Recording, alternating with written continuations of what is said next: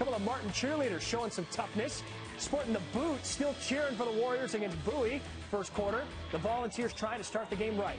The corner three, but no! Derrick Talton says no, sir. On the other end, how about Zion Rodgers? Sweep behind the back pass to Keno Ad Adbeduta. Adbeduta. Nice finish. He had two. He had 15 points in the game. All right, Bowie was led by Donta Coady. Great shot here. That three ball gets into a game high 24. Then Jarrod Porter going to drive the lane. And a nice scoop layup. The game was tied at 16 after one. But how about Daveyon Taylor?